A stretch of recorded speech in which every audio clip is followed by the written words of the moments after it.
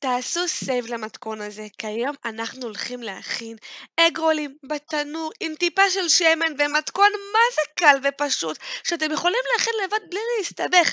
אז מה שצריך זה לקחת כרוב לבן, לקצוץ אותו, להוסיף לו כרוב סגול, רבע כרוב לבן, רבע כרוב סגול. אני מוסיפה חבילה אחת של נבטים, צרור של כוסברה ושתי גזרים מגורדים. קצת ג'ינג'ר, אם אתם אוהבים זה לא חובה.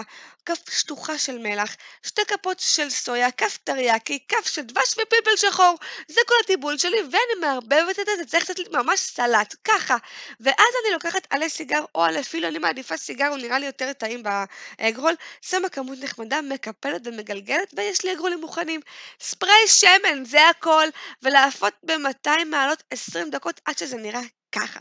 מסדרת את זה ככה יפה בצלחת, וזהו, האגרולים שלי מוכנים, אפשר גם לטגן את זה אם אתם ככה יותר אוהבים, אבל הכי כיף שזה קל, הכי כיף שזה מתוקתק, הכי כיף שזה פשוט וטעים. אז המתכון המלא והכתוב אצלי באתר, אתם מכינים את זה עכשיו.